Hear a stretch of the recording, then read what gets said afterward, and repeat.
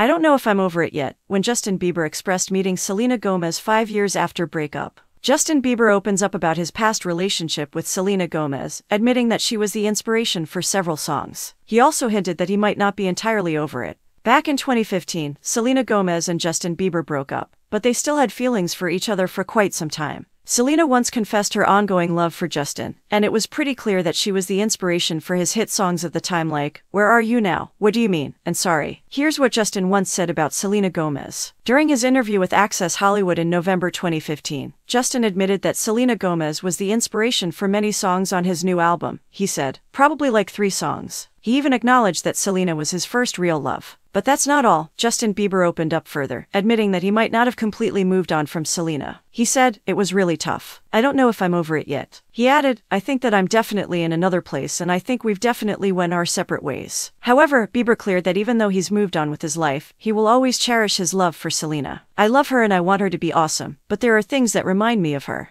Justin also confessed that if he and Selena had met later in life, they might still be together. He mentioned writing a song that didn't make it to the album, titled If I Would Have Met You in Five Years. Justin described the song, How True Is That? How many people go through life and end up meeting someone and it feels so right, but it's just the wrong time. So many people can relate to that. Regarding their current relationship, Justin made it clear that he will always reach out to Selena because they deeply respect each other. He explained, is someone I love dearly. I'm never going to stop loving her. I'm never going to stop checking in on her. I don't think if you end a relationship, you should end that unless it was super toxic and you guys were hurting each other physically, or mentally, we always respected each other and we still respect each other. He concluded by saying, I don't know what happens. I don't know what is going to happen in the future. I think we both got to do some soul searching ourselves and figure out ourselves before we can just try to figure out each other. This was the only interview where Justin showcased the most honest and open discussion about his relationship with Selena, ever.